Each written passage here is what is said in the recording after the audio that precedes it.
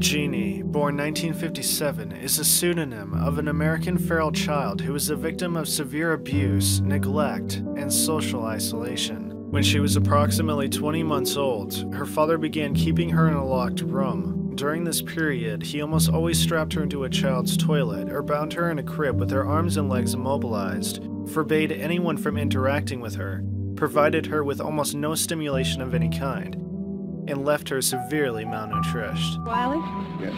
why did you keep your daughter in a room? Mr. Wiley has no comment. No We haven't had time to discuss the charge. We haven't even seen. The extent of her isolation prevented her from being exposed to any significant amount of speech, and as a result, she did not acquire language during her childhood.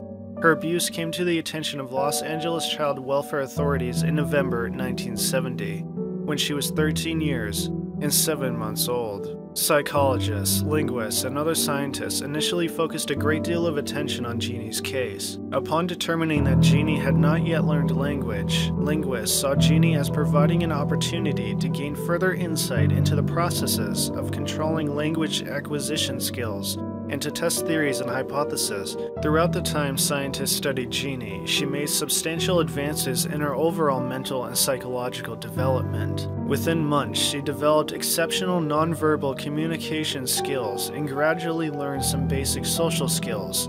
But even by the end of their case study, she still exhibited many behavioral traits, characteristics of an unsocialized person. She also continued to learn and use new language skills throughout the time they tested her, but ultimately remained unable to fully acquire a first language. Authorities initially arranged for Genie's admission to the Children's Hospital of Los Angeles, where a team of physicians and psychologists managed her care for several months. Authorities placed her with the family of the scientist heading the research team, with whom she lived for almost four years. Soon after turning 18, Genie returned to live with her mother, whom decided after a few months that she could not adequately care for her. Authorities then moved her into the first of what would become a series of institutions for disabled adults, and the people running it cut her off from almost everybody she knew and subjected her to extreme physical and emotional abuse. As a result, her physical and mental health severely deteriorated, and her newly acquired language and behavioral skills very rapidly regressed. In January 1978, Genie's mother forbade all scientific observations and testings of Genie.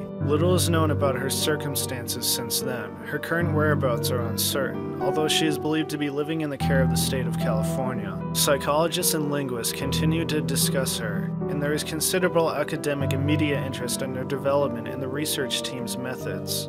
At that point in history, there had been very few cases like these, and there have been many more since.